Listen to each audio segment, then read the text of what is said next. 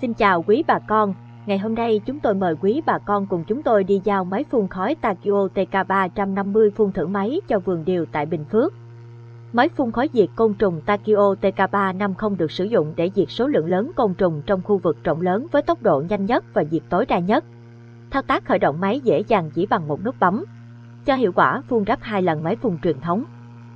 Máy được sản xuất theo công nghệ Nhật Bản nên chất lượng sản phẩm rất được đảm bảo. Thành phần cấu tạo được làm từ thép không gỉ, mạnh mẽ, chắc chắn và bền, chống bị ăn mòn bởi hóa chất. Điều chỉnh được khối lượng phun bằng van khóa, có thể kiểm soát độ chính xác của các hạt phân tử khói mịn và đáp ứng tất cả các loại phun khử trùng. Máy phun khói Takio TK350 được thiết kế gọn nhẹ, dễ dàng di chuyển, có thể điều chỉnh linh hoạt tới tất cả các góc phun mang lại hiệu quả cao. Một hecta phun trong khoảng 30 phút, chỉ tốn từ 1 đến 1.5 lít xăng và 3 đến 4 lít dung môi vì thế tiết kiệm được công sức và thời gian cho người sử dụng, đem lại hiệu quả công việc cao. Ứng dụng của máy phun khói Takio TK350 phun phòng trừ sâu bệnh và khử trùng trong rừng, vườn cây lâu năm, vườn cây ăn trái, vườn chè, nhà kính trồng rau.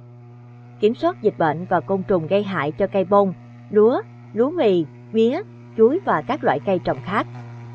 phun trừ sâu bệnh, cào cào, bệnh dịch, vệ sinh và phòng chống dịch bệnh, cống rãnh, kênh, điều hòa không khí, tầng hầm, hầm trú ẩn của máy bay và các nhà kho khác nhau,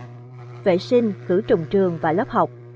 căng tin, khách sạn, bệnh viện, rạp chiếu phim, sân vận động, nhà ga và bến tàu, chợ và những nơi công cộng khác,